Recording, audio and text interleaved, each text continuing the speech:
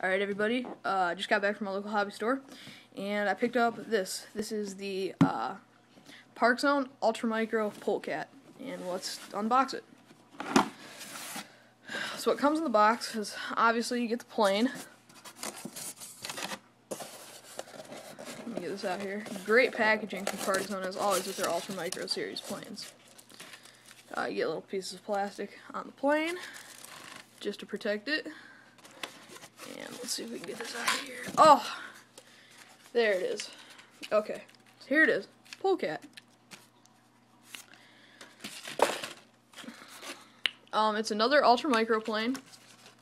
And it's more set towards uh, a uh, little bit more racier uh, style than something it's comparable with like the Sukhoi. Uh, it's a little less aerobatic than the Sukhoi. The Sukhoi is the 3D plane Hobby uh, Zone makes. It's a little less aerobatic, but it looks nice. Looks really nice.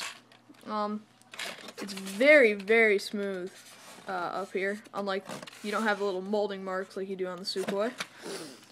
Um, as you can see, it's not. It does not have as big of uh, control surfaces, and the ailerons are a little smaller. But it looks like it'll fly great. So we'll give it to back to the plane in a second. Uh, what else comes in the box is you get an extra battery,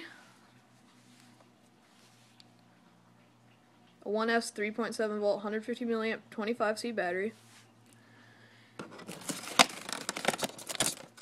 You get a charger for the battery. And they even send you Oh my goodness, these are hard to get out. Four double A's for the charger. Now this charger is a field charger. It doesn't plug into anything. You can buy a cord to plug it into the wall for charging faster at home. Under here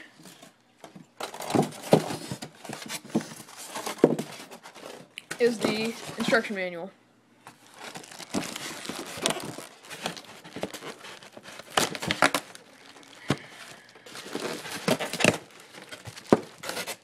So what you get is you get some numbers for your plane. You can put on it because it is a pylon racer. Hold on, guys. I'm opening up the bag. So you get those numbers. You get a nice instruction manual. And you get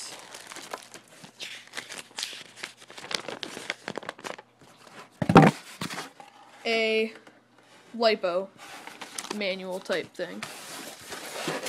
And that's all that comes in the box. So I'm going to go bind, bind my polecat up and start flying. Thanks for watching.